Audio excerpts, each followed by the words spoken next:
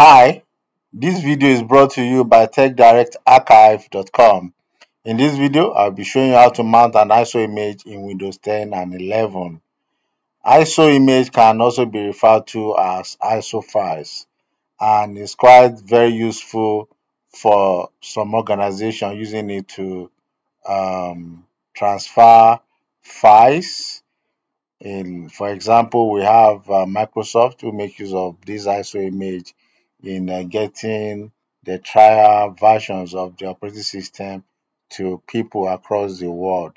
So you can equally mount it on your system and when you are done with it, you can unmount it and you can also install the files. For instance, like the trial version of uh, Microsoft, you can install the um, OS on your system. But in this article, I will only be showing you how to mount this ISO image to your system. It will just be like attaching a folder to your system.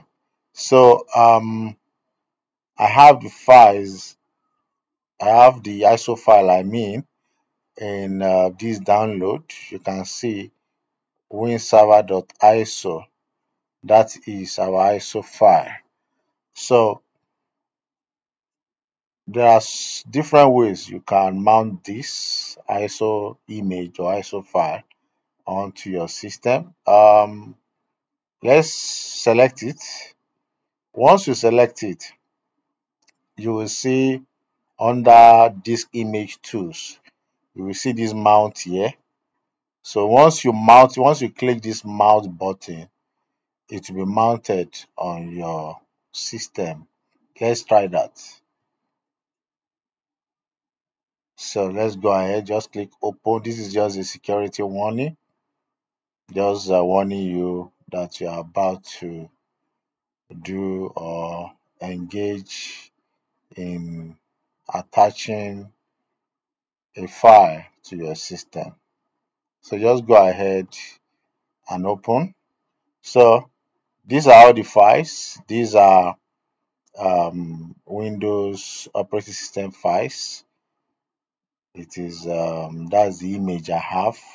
So now we are inside the ISO image now. You can also confirm just go to your PC you get to see it mounted here.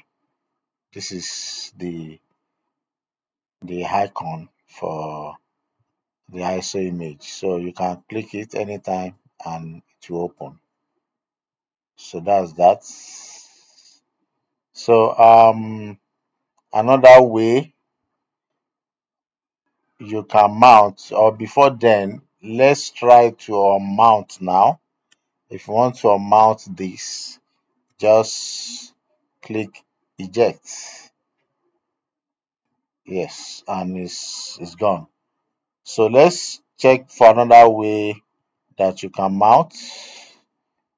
Um sorry let me just search for the ISO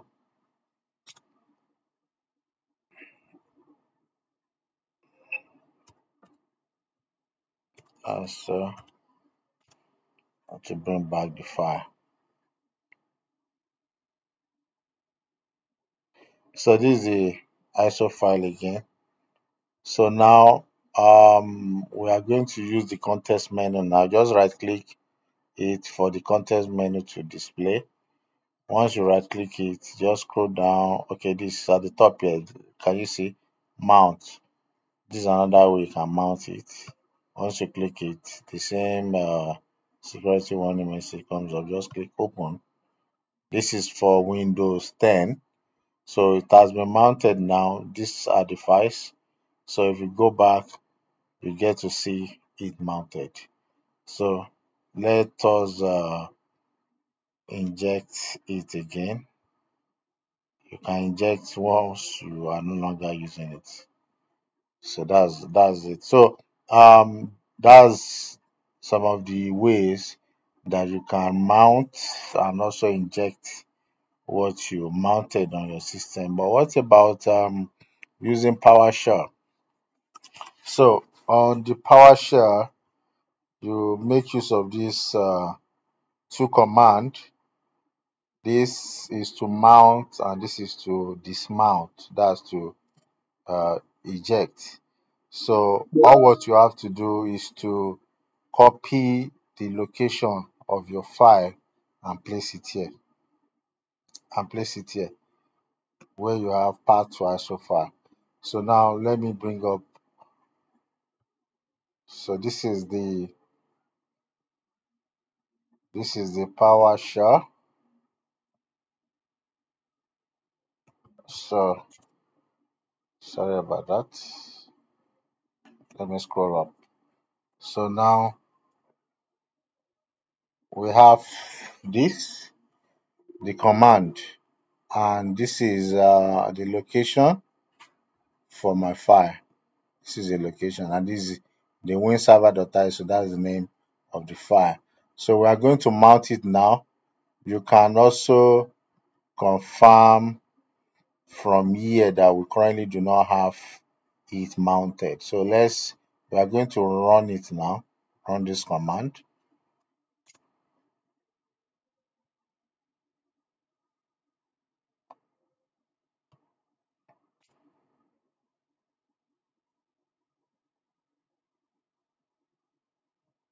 wait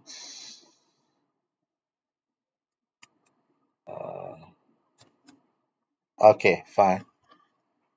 So we've mounted it now. Let's see whether it's, it's going to show. Yes it's now showing. That is um, the command PowerShell command to mount. But um, let's eject it now or dismount it so this is uh, the command for it. Just change the mount to dismount and you are good to go. So i'm going to run it now. Can you see? So it has disappeared.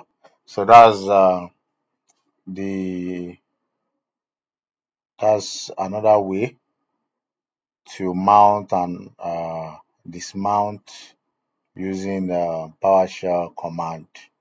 So it's very easy to mount your ISO image or ISO file on your system. So I hope you enjoy this uh, video and thank you for watching.